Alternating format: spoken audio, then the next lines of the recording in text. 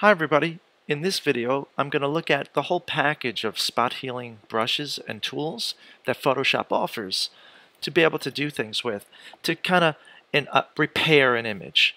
So you can see here I have um, kind of this busy photo of apples uh, on the ground and I just want to fix some parts you know um, and if you saw my last video it was on the spot healing brush tool so if you haven't seen that start with that one. I'm gonna get done as much as I can with my spot heal. That's my first go-to when I want to just kind of repair some things in an image. So I don't like this stick that's sticking up here so I'm just gonna kind of paint it away here. All right? And um, sometimes this happens where it's filling in the content. So it found this leaf and it wants to put it here too. But sometimes things can look a little repetitive. Maybe not if they're two. Maybe I can get away with that, but I'm just going to knock that away uh, just because it, it looks like repetitive to me.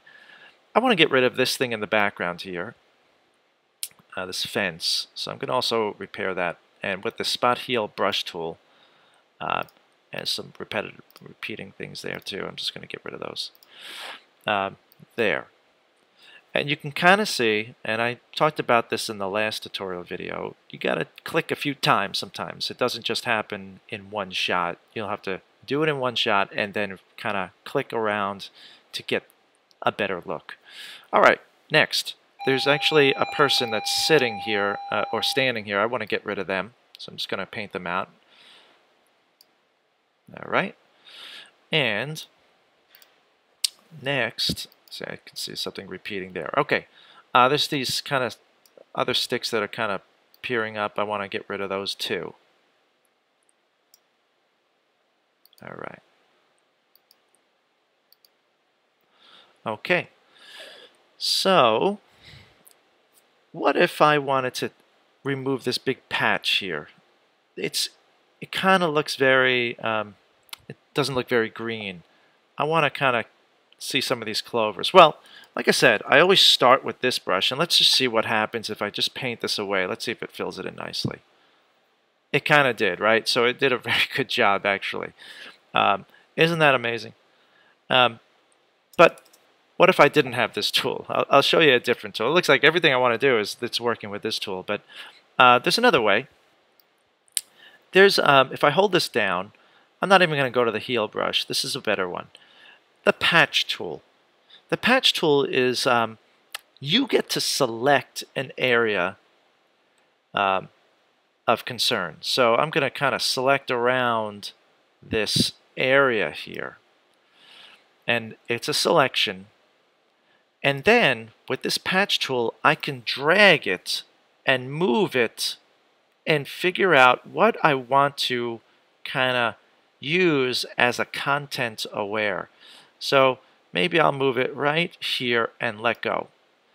And what you can see, that's just a different way of going about this. And sometimes this works better than the heal brush. But, you know, if you're savvy enough, you can probably see the, the, the repeating elements in both of those. This image is very busy, so it actually works very well. Uh, but you can see how we did that. Let's go to a different tool in this package here. The Content Aware Move tool. This is a great little tool here. So sometimes you just want to move something in an image. Just move something. So right here, Content Aware Move. I'm going to take this apple right here, and I want to move it right there. So I'm going to, let me just zoom in so you can see this a little better. I'm going to circle around this Apple with the Content Aware Move tool.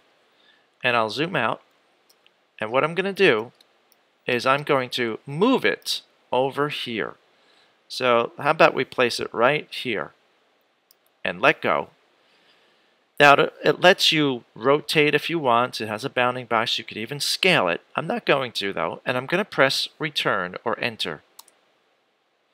And I'll just Command D so I don't see it with the um, selection.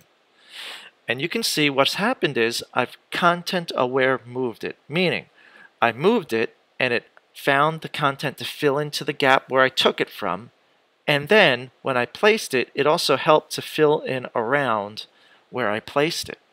So it's uh, looking at the content around it and helping to fill it in. And you can see that really worked very, very well. Excellent. So, those are the tools here for repairing things in, in an image. We looked at the patch, the spot heal, and the content aware all in one. So good luck and give it a try.